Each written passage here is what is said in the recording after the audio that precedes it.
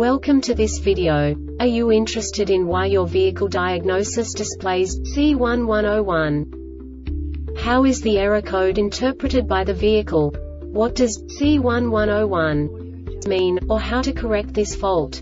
Today we will find answers to these questions together. Let's do this. First, let's look at the history of diagnostic fault code composition according to the OBD2 protocol, which is unified for all automakers since 2000. We divide the electric system of automobile into the four basic units. Powertrain, body, chassis, network. This distribution is defined in the first character code. If the second character is expressed as zero, it is a standardized error. In the case of numbers 1, 2, 3 it is a more prestigious expression of the car-specific error. The third character specifies a subset of errors.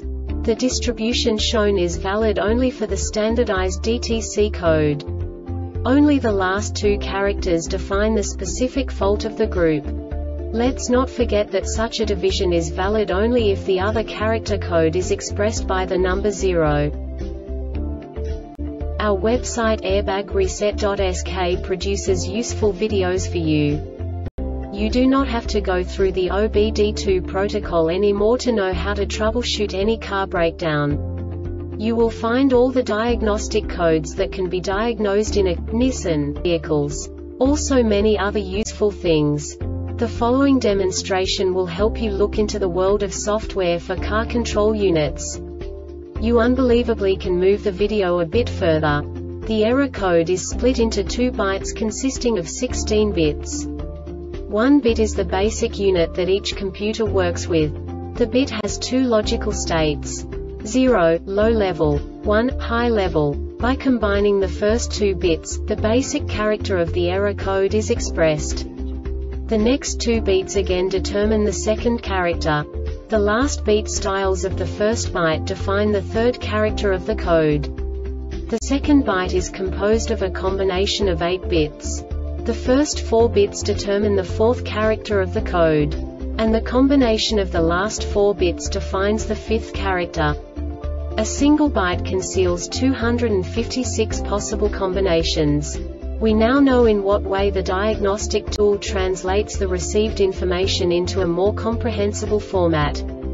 The number itself does not make sense to us if we cannot assign information about it to what it actually expresses.